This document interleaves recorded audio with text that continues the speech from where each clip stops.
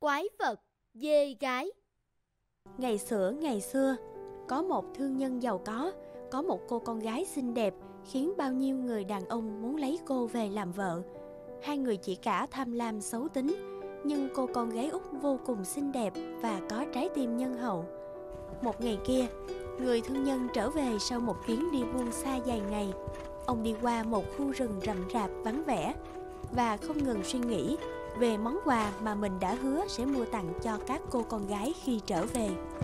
Vậy là chuyến đi dài ngày sắp kết thúc Mình sắp trở về nhà rồi Quà cho hai cô con gái lớn mình đã chuẩn bị đúng với nguyện vọng của chúng Nhưng ta chưa biết tìm đâu ra bông hồng đỏ cho con gái út bây giờ Nghĩ đến đó, ông thở dài buồn bã.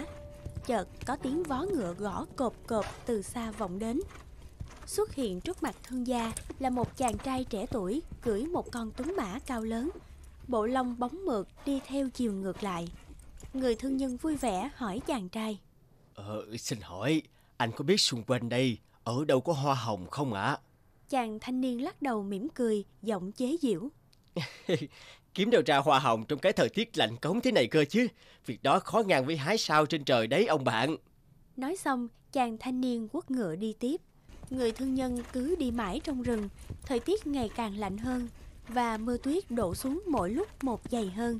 Khu rừng trở nên âm u, lạnh lẽo. Ông đánh xe ngựa đi lâu thật lâu dưới cơn mưa tuyết và than thở.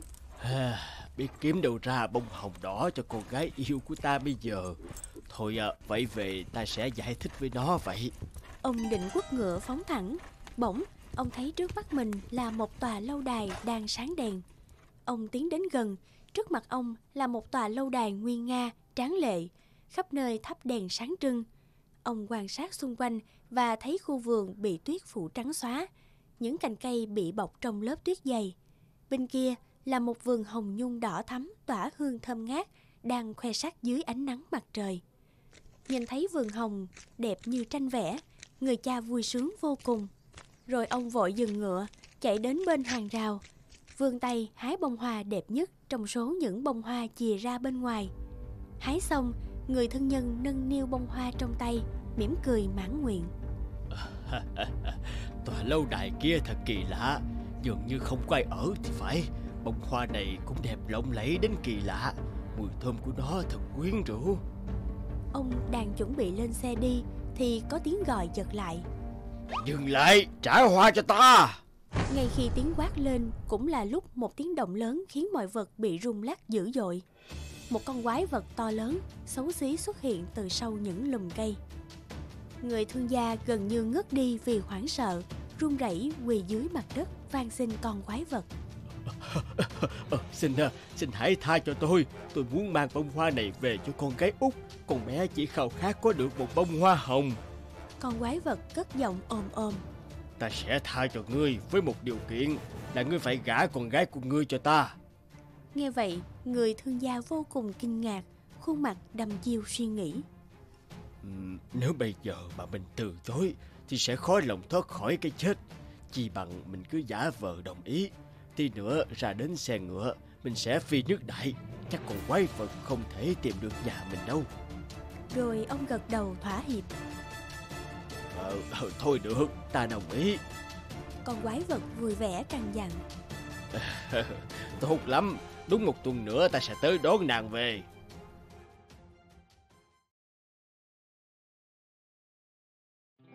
Thời gian thấm thoát trôi nhanh và đã đến ngày con quái vật đến mang người con gái của vị thương gia đi. Vị thương nhân ngồi bên cạnh cửa sổ nhìn xa xa, lòng bồn chồn, lo lắng không yên. Hôm nay là tròn một tuần kể từ ngày ta hứa với tên quái vật nọ Sao ta cứ dự cảm có điều gì không hay sắp xảy ra Lòng ta nóng như lửa đốt Thấy cha vẫn còn chưa ngủ, cô con gái út bước vào nhẹ nhàng hỏi. Cha ơi, khuya rồi sao cha chưa đi ngủ? Cha có tâm sự gì à? Người thương nhân thở dài, cố tỏ ra vui vẻ để giấu con. Ừ, à, không, không có gì đâu Ừ, thế bông hoa hồng của con đâu Nhắc đến bông hoa, cô gái vô tư kể với cha. dạ, nó vẫn còn tươi và mỗi lúc một đẹp hơn cha ạ. Con luôn để nó trên bàn trong căn phòng ngủ của mình đó. Cha tìm được ở đâu bông hồng tuyệt thế thưa cha? Nỗi lo lắng lại hiện rõ trên khuôn mặt người cha Ông trầm giọng Một nơi rất đặc biệt ừ, Thôi khuya lắm rồi Con đi ngủ đi nha Cô con gái út cúi xuống chào cha Vâng thưa cha Màn đêm buông xuống ngôi nhà của thương nhân. Cô con gái út đang say sưa ngủ trên chiếc giường êm ái của mình. Chợt rèm cửa sổ đung đưa Một cơn gió lớn ùa vào trong phòng.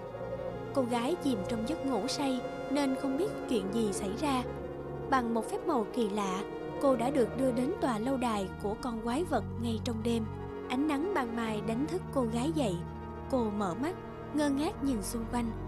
Căn phòng lớn được trang hoàng xa hoa, lộng lẫy nhưng thật xa lạ.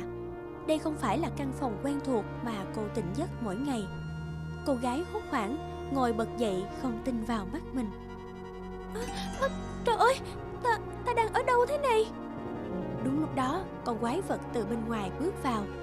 Nhìn thấy con quái vật to lớn, xấu xí xuất hiện Cô lại càng sợ hãi. Cả người cô co rúm lại, nép sát vào đầu giường, run rẩy. Trời ơi, quái, quái, quái vật. Con quái vật cất giọng ồm ồm, dịu dàng trấn an nàng. Xin nàng chớ có sợ, ta không làm hại nàng đâu.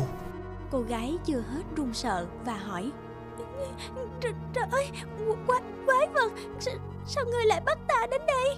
Cha nàng đã hái bông hoa hồng đẹp nhất trong khu vườn của ta Và hứa sẽ gả nàng cho ta.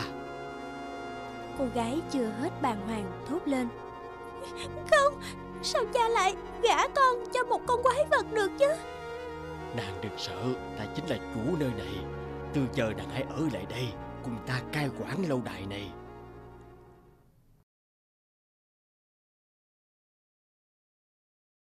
Thời gian trôi qua, cô gái bắt đầu quen dần với cuộc sống nơi đây. Mọi thứ trong lâu đài được trang hoàng rất đẹp đẽ, cẩn thận. Sau đó, cô đi loanh quanh trong khu vườn. Cô gái mải mê ngắm những bông hoa hồng nhung khoe sắc. Rồi nàng chạy nhảy tung tăng, đuổi theo những chú bướm trong khu vườn. Chợt phía trước có một con ếch xanh nhảy ra. Cô sợ hãi kêu lên. À, à! Bỗng con quái vật bước đến con ếch vui sướng nhảy loi choi trên vai của gã. Đến giờ ăn buổi tối, trên bàn ăn có rất nhiều sơn hào hải vị, hai người ngồi đối diện nhau ăn cơm. Con quái vật chu đáo, ân cần gấp vào bát cô những món ăn bổ dưỡng nhất. Ngày qua ngày, cô gái quen dần với cuộc sống trong tòa lâu đài của quái vật. Nhưng nỗi nhớ cha, nhớ nhà, nhớ các chị vẫn khiến cô cảm thấy buồn bã, cô đơn. Một sáng nọ, Cô đang ngồi một mình trước gương Khuôn mặt buồn bã chứa nhiều tâm sự Ta xa nhà đã lâu lắm rồi Ước gì được trở lại quê hương một lần thăm cha và mọi người. Con quái vật từ phía sau khẽ thở dài Dịu dàng hỏi nàng. Nàng muốn về thăm cha ư? Cô gái nghe quái vật hỏi vậy Thì buồn bã trả lời. Ừ, Đúng vậy Tôi nhớ cha và gia đình quá. Quái vật dịu dàng nói. Được Ta đồng ý. Nàng hãy trở về quê hương thăm gia đình đi. Nhưng hãy hứa với ta Là sau một tuần nàng sẽ quay trở lại Cô gái phấn khởi Nhanh chóng gật đầu. Được tôi sẽ quay lại ngay tuần sau Tôi hứa.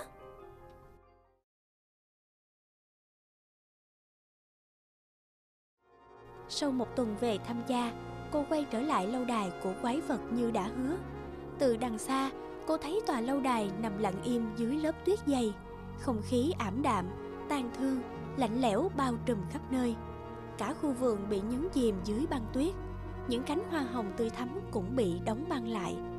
Cô gái vội vàng chạy về phía tòa lâu đài, hết sức hốt hoảng vì cảnh tượng trước mắt. Hả? Trời ơi, chuyện gì đã xảy ra vậy? Sao mới có một tuần xa cách mà mọi thứ đã trở nên như thế này?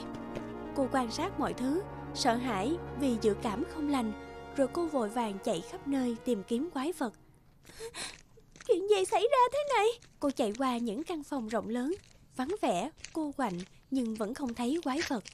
Rồi cô chạy thật nhanh về phía sau vườn. Quái vật nằm im bất động trên nền tuyết lạnh.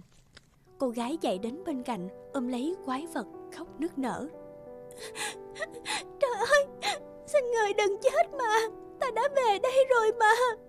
Đừng chết. Những giọt nước mắt của cô rơi xuống mặt gã quái vật Bỗng Một ánh chớp chói lòa kèm theo tiếng nổ lớn. Cả lâu đài bừng tỉnh sức sống Nắng chiếu xuống ấm áp Cô gái sững sờ nhìn quanh Rồi quay đầu lại chỗ quái vật. Con quái vật xấu xí đang nằm dài trên mặt đất Bỗng biến thành một hoàng tử khôi ngô tuấn tú. À, Ngươi là ai? Chàng hoàng tử âu yếm nhìn nàng mỉm cười. Cảm ơn nàng đã quay lại giải thoát cho ta khỏi lời nguyền của mụ phù thủy độc ác. Chỉ có chọn trước mắt yêu thương chân thành của một cô gái Mới có thể giải thoát được cho ta và lâu đài này. Cô gái hết sức vui mừng vì điều mình nghe thấy Cô cảm thấy hạnh phúc vì trái tim lương thiện của mình đã cứu sống chàng hoàng tử. Trời, thật sự là như vậy ư? Nhạc nổi lên rộn rã Ông bướm, chim chóc hót ríu rang khắp nơi Lâu đài thật sự bừng tỉnh. Từ đó hai người sống hạnh phúc với nhau mãi mãi.